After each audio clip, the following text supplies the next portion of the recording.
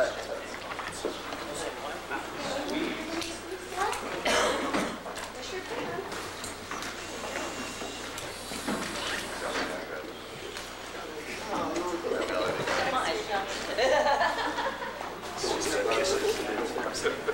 probably seen you more recently. Who's this on the floor? Like two days ago. Yeah, there you go. Rita.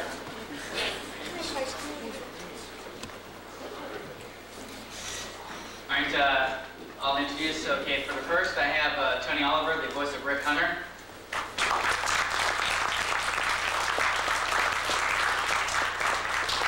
Melanie MacQueen, the voice of Lisa Hayes. Barbara Goodson, the voice of Marie Crystal. Greg Snegoff, the voice of Khyron and Scott Bernard. Lisa West, the voice of Lynn Minmay. And Mike Reynolds, the voice of Dolza.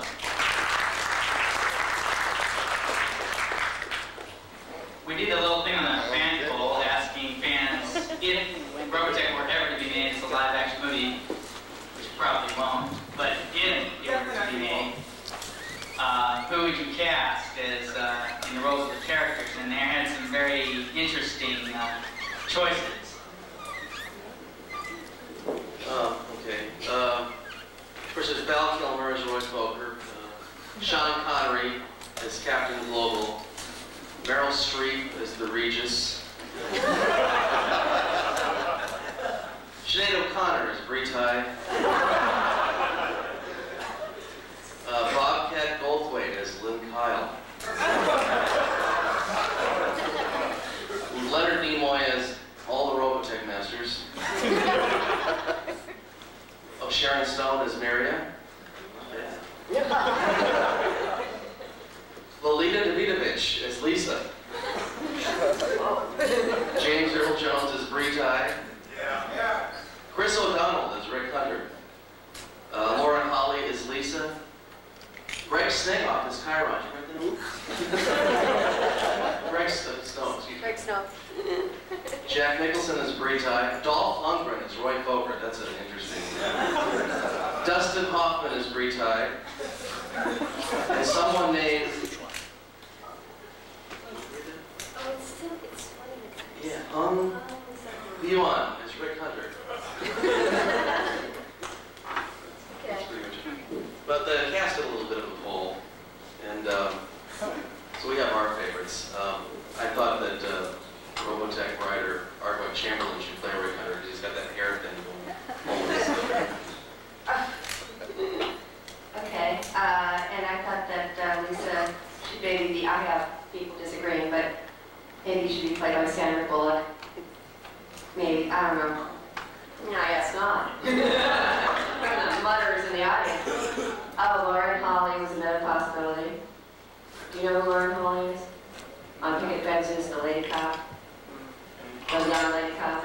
No, know, I don't know her. Okay, she dyed her hair blonde too, so I don't know. Madeleine Stowe, oh, well, now there's a thought. Okay. My idea for Marie Crystal was uh, Marlee Matlin, and I would dub her voice.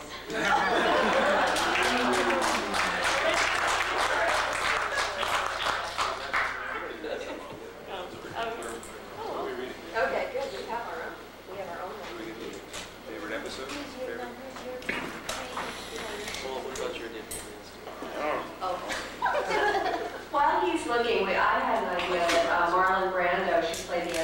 one.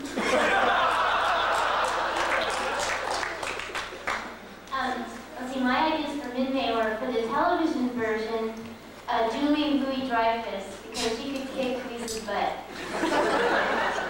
and for the theatrical version, um, you know, I have to go a little more theatrical. Um, Winona Ryder. Too whiny. Not more than enough. or Melanie Griffith with a wig, because that way you get her voice. Teri Hatcher. Teri Hatcher. Yeah.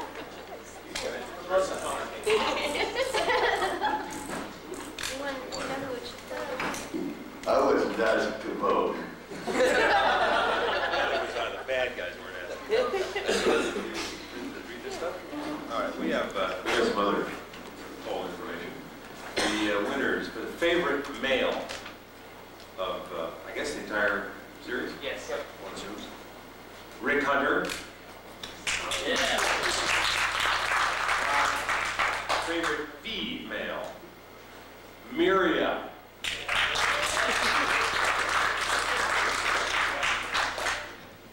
And the favorite villain.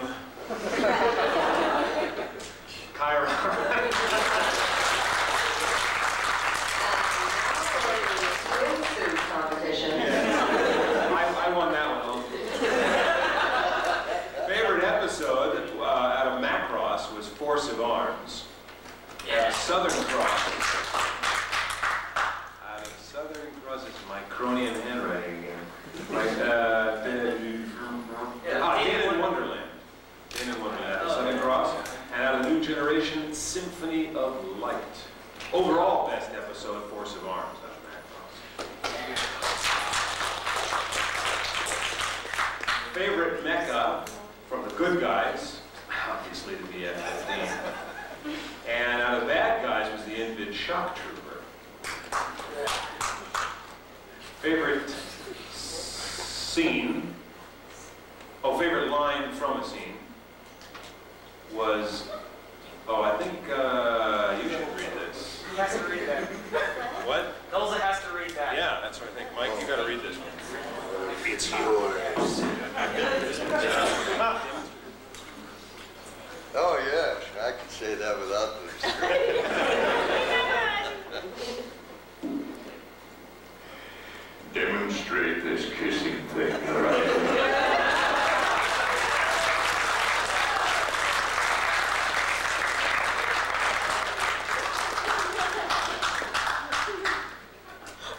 Can I read the rest? Bo's question? Or is that Bow's question? The bonus, that was the, uh, Oh, that was bonus. the characters. uh, Oh, who's bonus live question. action. You must have written this, Ray. No, no, no, it's my Cronian handwriting. Uh, Rick Ardwight Chamberlain slash Chris O'Donnell. That's what I think should What does that mean? be done, right? Oh, then it's done, I guess. Yeah, we did. That was the- the- Oh, oh, Um, oh. All right, we got that. Did you want us to refer to anything in particular, talk about anything? No, just- Answer questions? Answer questions? The floor is open. Who's got questions? Anything at all, from anyone at all? Good, we can all go home. Thank you for bringing us on. There's a little disagreement with the uh, man-made part. I think it should be played by Reba. yeah. Thank you very much. I, I kind of should play Minmay's mother, but thank you. I can always get my kid maybe to play Minmay in a couple of years. But thank you very much, Tracy. Um, I have a question for Tony. Since Rick Hunter's voice is so different from your natural voice, how hard is it to go into a studio and do that for that many hours? Does your voice get sore after a while? It, well, it's not all that different. um, it's just a little higher pitched. No, not really. Uh, it's just uh, uh, you, you breathe right and you and you talk. and let you, you do this a lot. And You get used to it. Plus, he always direct. Greg always directed me. And got me laughing so much I didn't have time to get worse. He had, the, he had this, uh, this uncanny way of, of giving the punchline to a joke right when the record light would go on. Exercise and concentration. Yeah. so, no, it's, it's, it's, it's not. Did you enjoy the dialogue exchanges between yourself and Reba in um, episode two? Or not, but the one where you're stuck in the basement at the Oh yeah, that's my, that was actually my favorite episode to do. Um, first of all, it took like a couple of days. We had so many lines in that, um, but uh, and I got to record last, as I recall. So I so she her voice was already on tape when I got there. So yeah, it was it was a lot of fun. It's it's one of those rare chances you get to actually act when you do uh, cartoon voices. Um, there was some stuff uh, in that scene that was cut out. That, I don't know if you're aware of, but she had a, a nude scene in there and when she took a shower.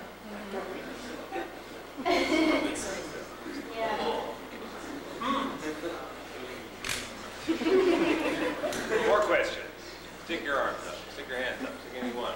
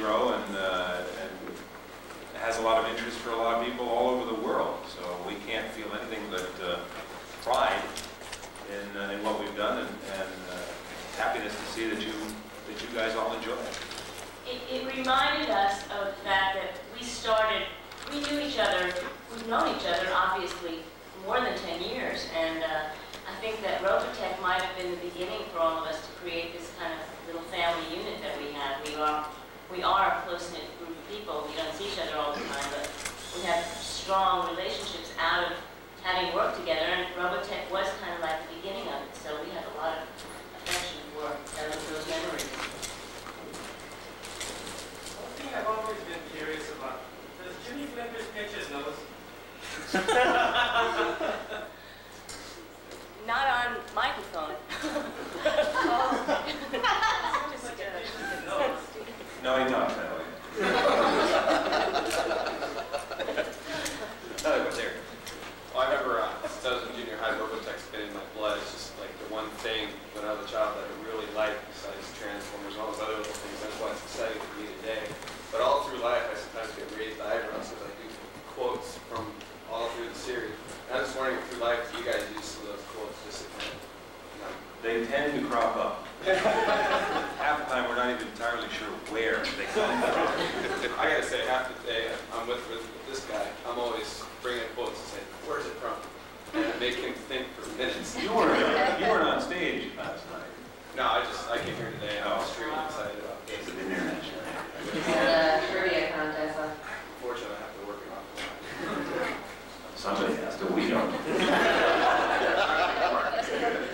Well, Mike does, but the rest of us don't. Another hand. Another question.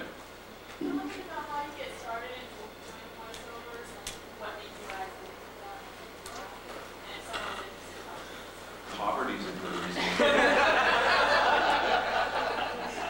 Who wants to tackle it? Well, it, it really beat waiting tables, you know. I mean, I don't know about you, but it, for me, it was, we, I was in a uh, show, a musical show called Company, and the bass player said, you're good, I played a role with, with Patterson, with a fast song. He said, you're good at those voices, you know, working your mouth fast. anyway, um, so uh, he said, my, my, uh, my former wife works for this Japanese company and does little cartoon voices, and I had written a tape, because I, it's just something in my blood. I was, when I was a kid, I, I liked doing voices. I made friends that way when I moved from New York to New Jersey and back again. I used to do Magoo, Mr. Magoo. And I made, that's how I, I became somebody with friends. At 12 years old, you know. New kid, you know. Anyway, so, uh, I forgot, what was the question? Why is that an actor? So I started doing that, and, and um, I, I rattled off this, these voices for this woman who had this Japanese cartoon, and I started to work there. It led to getting an agent for voiceovers, which led to a Kellogg's commercial. And I found myself getting further into that end of the business, not by choice necessarily, but that's where the money started to come from. So that's my story. Yeah, the first thing you really need um, is a voice, either a special voice like my voice, um, a kid voice, so I can do lots of kid parts, or a voice that's very versatile that can do a lot of different parts. And then once you have that, you have to make a tape, which is about two minutes long, of different, uh, usually it's a commercial tape is what they want at first. So you do about six different commercials, about 15 seconds a spot. And usually you have one that has a dialogue in it and, and then you have to try and get an agent with that. And it usually, it are, they're very highly produced, so you have to spend some money to do that, but that's, that's the brass tacks of how to get into it. And also, I mean, I, you can do that, but you also have to be able to act. So, you know, um, a lot of the people that do voiceovers are, are very big in improvisation. So if you wanted to, like, join a, an improv group or something, that would be a good thing to do. Where do you get an agent? Where? Well, there's there's um, for voiceovers there's about ten I would say ten main agents that are worth getting and um they're they're you, you want to get one that's a SAG franchise agent. They're the SAG legitimate Actors Guild. They're the legitimate agents. They're the only ones that you really want to get. You don't want to ever pay any money to an agent. You just you know they they are the ones you're hiring them actually is what's happening. So don't ever let anybody try to, to get money out of you. So they're, so they're more like a broker. Yeah, well, yeah, they have access to where the, the parts are usually. There's, you guys, you guys have been talking about uh, generally commercial voiceovers, but the, this kind of stuff we're talking, Robotech, dubbing, that sort of thing, it's a little bit different. There's such a tiny group of people, you're looking at about half the group up here, uh, almost, that do most of the work. Um, It's really a- an aspect of the, of the industry that very few people know about, and even fewer know how to do. If you're interested specifically in dubbing, there's a little bit different way to go. You're not going to get an agent for dubbing work, generally speaking. Uh, Frankly, you would have to get in touch with some of the companies that release the cartoons or films, whatever they have to. Uh, You can present yourself. A tape is not a bad idea, but since you're working with something that's on screen, that's the hard part. There are no classes. And even if there were, they wouldn't help you very much. Fortunately, improv helps as an overall talent. Dubbing, unfortunately, you have to learn by dubbing. And uh, if you're interested in doing that, contact the companies that do the jobs. Say you're interested in doing it and getting, when they have the opportunity, the directors may put you into what's called a Walla session with group noises, crowds, things like that. And usually small roles, bits, one and two lines. From that, as the film is being dubbed, they'll choose some of this. Say, here, there's a, this girl has to run in, say something, and run out. Do it. And from these roles, they will see if you have come up with the energy, how good your acting is, if your sync is all right, how fast you can do a line, meaning how many takes. And from that, you will get bigger and bigger roles. More or less all of us started doing that. Uh, if you're talking about kind of two different worlds. One thing that uh, Greg had mentioned is that it's as hard to get into this as it is to become a movie star. It's, it's, it's not as, the pay isn't as good. It's not bad, but uh, it is as difficult. Uh, It's hard to get out. Hard to get out. Yeah, yeah. And uh, as far as uh, having an agent is concerned, for the, uh, an agent is necessary for commercials and uh, that sort of thing. And uh, doing, doing cartoons from scratch, that is, ones that haven't been already done, uh, you know, where they do the voices first and then draw the pictures to fit the voices. That you need an agent for. But most of us, for, uh, for this sort of uh, cartoons, for dubbing, we just stay home and wait for somebody to call. Yeah. And they always do. Funny that. Yes. Maybe for Yeah. you. Yes. Did you say, did you want to hear some Vanessa? Oh, Oh, I thought you said was I? Oh, yeah. yes. Oh, yeah, see, I always have trouble with lines. Can you give me a line? I'll give you some Somebody come up with a Vanessa line. lines. Captain Hayes just happens to be in love with you. Oh, yeah. Captain Hayes just happens to be in love with you? Does Captain Well, very good, there you go. Yeah, she's, she's pretty innocent. She, um, I always thought that, you know, she had another side of her that was kind of, you know, dying to get out, but, you know, she, uh, she was always, you know, she seemed very tame, of course, on the outside. Um, yeah, what was the line again? Captain Hayes, what was it? Just happens to be in love. Just happens to be in love. That's talking to Rick. You're talking to Rick. Talking to Rick, right. Captain Hayes just happens to be in love with you. Just real, you know.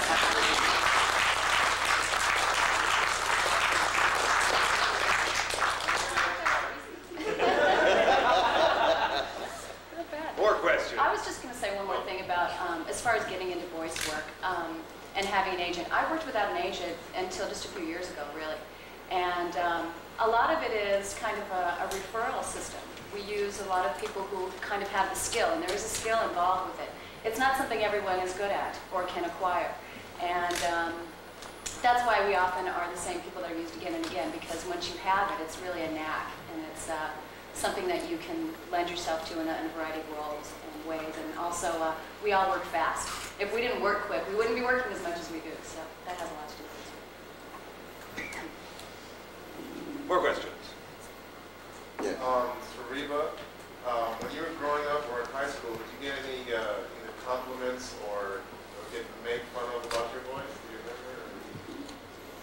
Well, the greatest thing about my voice, because it sounds like a kid, is that, you know, if somebody calls me up on the phone, they always say, is your mom at home? so it works out really great. You know, if there's a, like a telephone solicitor, I can go, um, my mom and dad are busy, they're in the bedroom right now.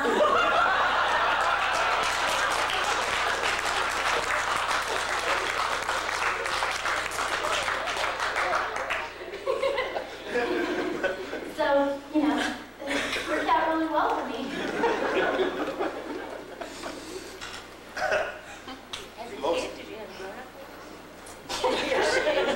Sounded like me when she was five. Uh, a lot of the time, uh, many of us were those kids who were thrown out of class, taken down to the principal for disrupting class by making My funny son is in faces. the audience. making funny faces, funny noises, or obscene noises usually, disgusting noises, uh, if possible, and uh, you know, set up and stand up in front of the class, and things like that. Now the final revenge is so sweet. It's for those same noises we get paid. for. I just want you to know that I was not like that. Becky was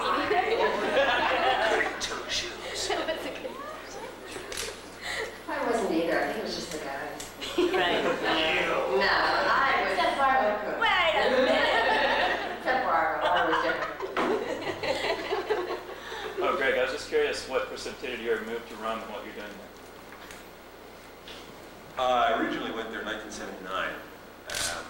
Um, what precipitated it? Misinformation. I was told there was work there. there was. They, I arrived uh, at the bottoming year of a 10-year slide in the Italian film industry, where I think they may have made ooh, five or six films that year, most of which were porno. Uh, but I, I stayed and did eventually start to work. That was the actual reason I went. More questions? Yeah, uh, when Carrie Fisher was in Star Wars, she talked about how when she'd be reading the dialogue, she had no idea what she was talking about. Was it something like that with Robotech? Yeah, well, yeah, absolutely. Let me tell you when I did these long dialogues about protoculture. You know, it's like, it's whoever, Gray or whoever, I'm like, what am I talking about? What is, what is it I'm describing here? What does this mean? Just do it, Melanie. We, we never get a script ahead of time. Everything is very rushed most of the time, and um, it's just whatever's there you read. That's why when you ask about, well, what happened in episode something, we're going, There's, there's a, excuse me, there's another aspect to it. If you're not raised, as most boys are, not as many women, on science fiction, uh, a lot of girls have no idea what we're talking about. I was, it was in my blood, so it was very easy to rattle stuff off and write it. Then you get writers, you know, Mike and myself and others, who are capable of writing that kind of techno talk, techno jargon. Even though it's entirely made up, it has to have a sense. Somewhere along there, it's got to have a sense. You can't just throw long words together, which some of the writers try to do. Uh, somewhere it has to have sense. So if the writer's done his job properly, even if you have the vaguest idea what you're saying, it will make sense. It's English. You'll find some sense out of it. Uh, but it was difficult for a lot of people, actually, who didn't have background However, as if. Greg, you sexist bitch. Yeah. Sorry, it's a dirty truth about No. boys read a lot more Okay, science but- fiction than girls. Not true with either Barbara or I was myself.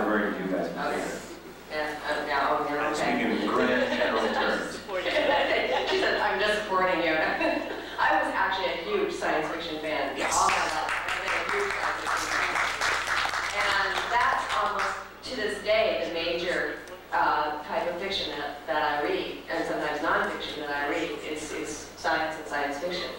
So, um, I don't think it was really that I was uncomfortable with that. It was just like, like he said, sometimes we did stuff even out of sequence, so I wouldn't see what led up to that. So I'd be talking about something before I'm sort of introduced to it. Explain to them that, that uh, you may wander in, and half the conversation, there's nobody you're listening to. Right. Dialogue. Right, you know, I would not get the other half of the conversation. They fast forward past the loops of the other person. Uh, you know, and, and, or, or they're not done yet. So I don't know what the response of the other person, it, it may be written on the page. Sometimes they haven't decided what the other person's going to say back to me yet. So I oftentimes was very much just sort of working in a void. So it wasn't really a discomfort with, with science fiction, which I've really never been uncomfortable with. It was really a discomfort with not knowing where I was or what was happening yet. Most of us have that problem. Yeah. However, we were wonderful with the romance. How do you bring the emotion into it, and whether it's an exclamation or it's a louder voice, or because what uh, emotion has to come, or inflection has to come, would depend on what happened before. Well, besides my beating them with a cane, that's called acting. Also- It's a tremendous use of your imagination. But if you cannot, if you do not know what the previous sentence was, you cannot use your imagination. Well, that's part of what the director's for. The director in, the- in the session has the overall vision and, and, and helps guide you and lets you know very quickly what's going on. Um, uh, unless, you know, he's being funny or something. But, uh, he, and you just, you draw from the dialogue. The, the dialogue in Robotech was particularly easy to do because it's so well written. And so you could really draw from just what the emotion of the character, you can see the picture, the director tells you the context and what you're doing, and then you just let the emotions play. That's, uh, It helps a lot if you wrote the episode. Also, you go by what the visual is. That has a lot to do with it, and you try to emote and match what you're seeing visually. We have the advantage with what we're doing in this form of having that visual. But when you're originating animation, you don't have anything visual to work with at all. You're using just what's written and creating it. But you're originating it in that case. But um, really, it's the acting skills that come in. It's really how much you can emote and, and make it fly and live. Uh, do you ever get to see on screen what what emotions you're going through first, then go back and actually dub it in, or you just You do mean it right off the rehearsal? spot? Rehearsal? Yeah. Depends on if Greg's being cruel or not. You, you mean go way back, so you, so you know what happened before? Well, let's say you have a scene that you're gonna actually dub in. Can You see the scene first and go back and dub it in. Oh, Just yeah. maybe After Yeah. the. Most, most of us rehearse on tape, Yeah, we Not the whole Oh, scene. but, No. oh, the whole scene, no, Back and no. the scene. Go A line or two, maybe. I thought you were talking about when you're, when you're about to do a loop. If you want, you can see it first before you do it. And when they're doing the playback, that's when you read. You read a, you read a little bit, you know, you know it's going to play back to see if it looped in properly. We always check each line, always, usually, and depending on the director. And, um, and what, when that's happening, sometimes you just read down and get, get your continuity as quickly as you can. And you can also say, wait a minute, let me know, what, what, just tell me, Sometimes, just tell me, sometimes if the scene's difficult, What's uh, they'll, they'll watch it. Another way to tell is if occasionally we finish a loop and Greg would be rolling and laughing because we will- we will have gotten the opposite meaning out of the line and somehow. Wildly inappropriate. Exactly. Actually, there was one time that Carl put together a rehearsal for us after we knew that Robotech was a go, and we started a new season. We all got together, you remember this? We all got together over a, a big conference table and just kind of read the script and as the, uh, the picture was playing. And it kind of turned into a big party. The last Yeah. rehearsal. I think that was the last time we've ever done that. The only time. More questions?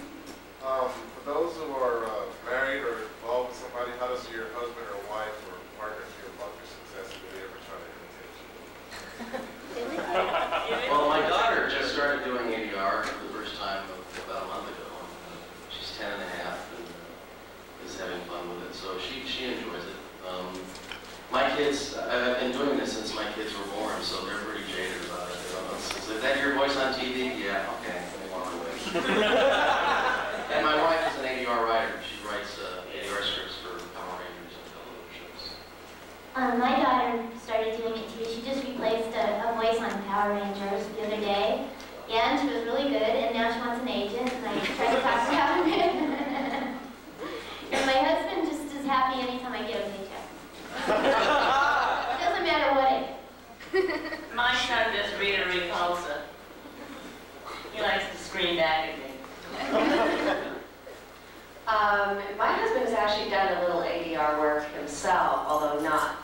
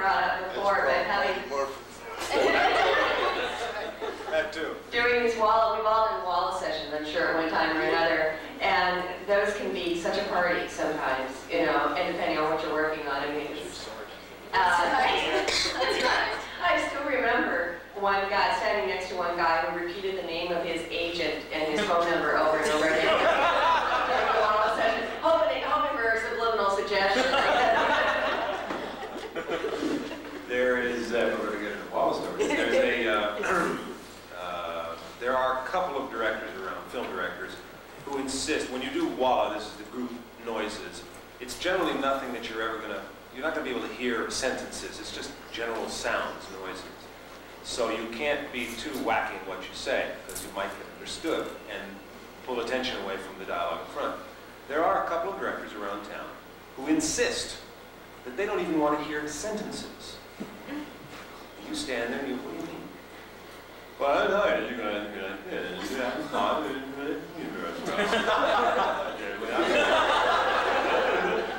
And we'll do a day and a half of that. On top of it, there was a scene in Paris. We had to do French that. These people are sick. Directors are generally very ill. There's something called a donut when you're doing moving sessions, and I did Problem Child 2, and each actor had to go around to the microphone and burp in a circle, and do it like in round two. So we had to come up with two different sound, burp sounds each.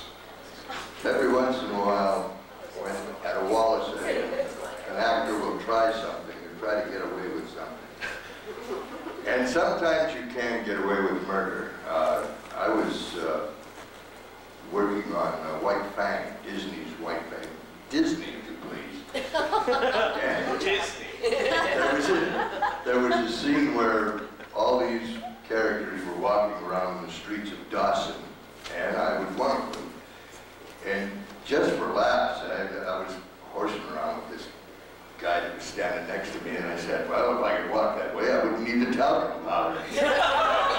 nobody else, nobody else was talking at that time, and they left it in. and I always look for White Fang. I, I, I watch that every time it comes on TV because I can hear myself. There's a guy I know that in these group, uh, group noise sessions, at the proper in literally every film he does. You, if you, I suppose you went frame by frame, you probably could find it, because it's there. It's in every single, it could be a hospital, it could be a church, it could be a train, it doesn't make a difference. It's there, it's in every scene, it works all the time. It's his signature.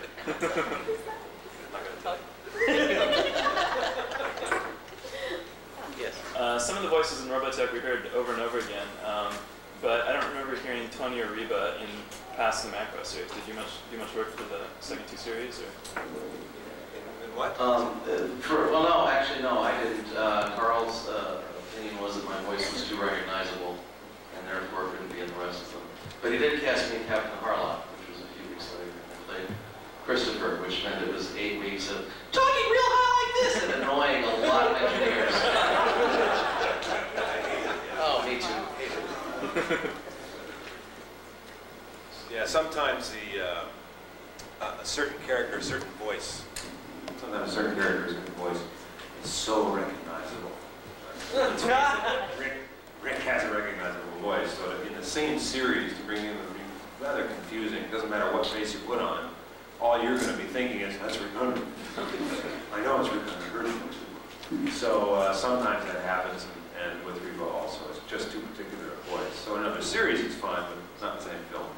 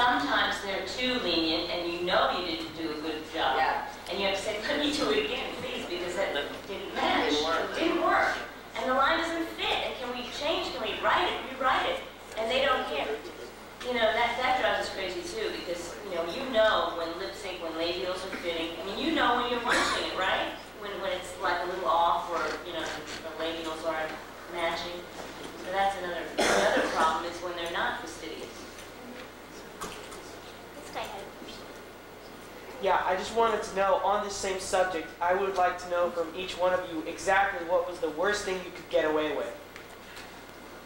In that in that sense, you know, like what jokes could you pull, what stunts could you Bad acting. besides the That's the worst. Well, I told you. But it's the most boring. It's the most important, but it's the most boring. They want to know like the obscene stuff. Oh, that's. You know, it really depends on the show too. I mean, there's some some movies where I worked on a film uh, was wrestling with Ernest Hemingway, and we had a baseball scene in it. It was just a two-minute scene, two two two-minute scenes where um, it was just a bunch of kids playing baseball, and we spent eight hours doing the walla on that, and everything had to be perfect. I mean, each each extra had a loop written for them. It was unbelievable, and then and then you know you get another show. I don't really care that much. You can kind of get away with just kind of being silly, but it, I mean, you know, if you want to work again in this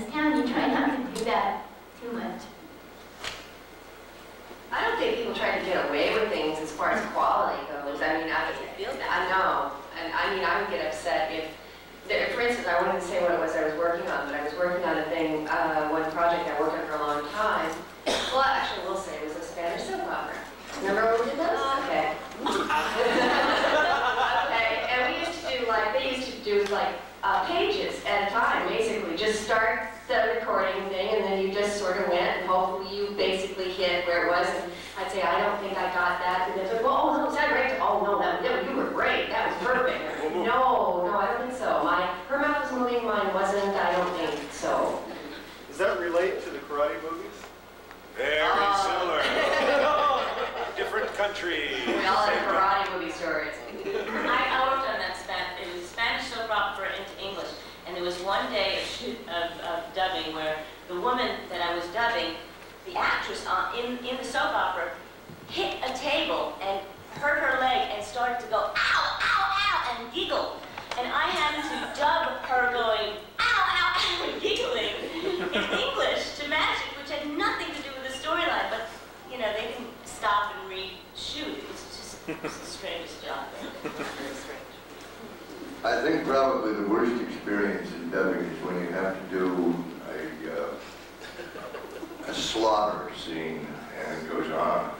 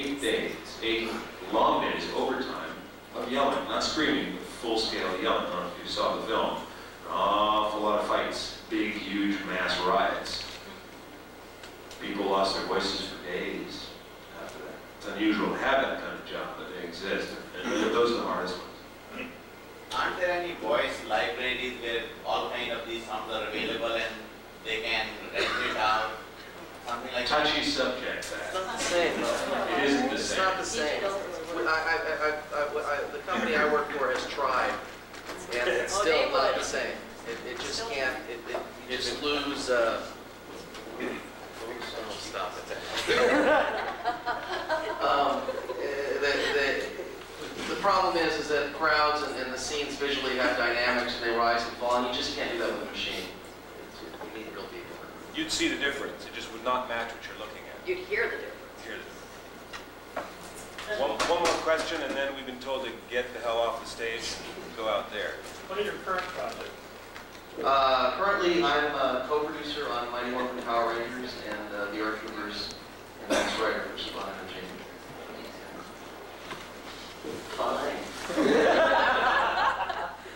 Currently, I'm a starting actor, doing, you know, commercials and bed parts and all that kind of stuff. I'm doing fine, I'm making a living, I'm not complaining. Um, Rita Repulsa, Power Rangers, Techno Man, and I just got Cruella de Vil for Disney and um, the stand-up.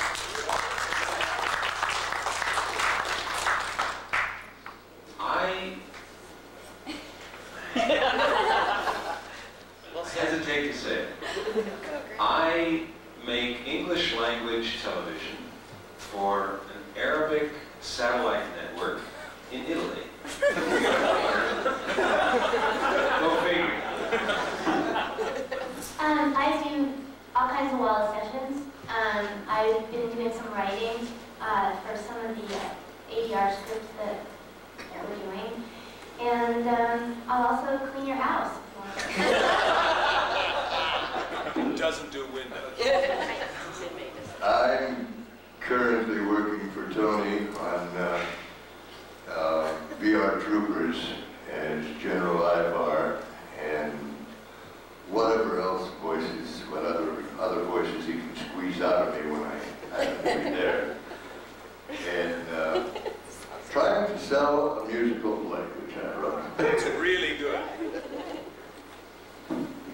I'm still doing a lot of voice work, and um, I have a, a little character on uh, Masked Rider called Magno, Talking Car, and, um, and I'm also directing now for Saban, and um, I have a little dance troupe and uh, I do some other things outside of this, but it's all sort of, you know, within the same realm. I have one final things, which relates to everything. Just one final thing to say before we uh, go outside there. He has to have the last I word. have to have one. I have to. Damn directors. And that is support Streamline.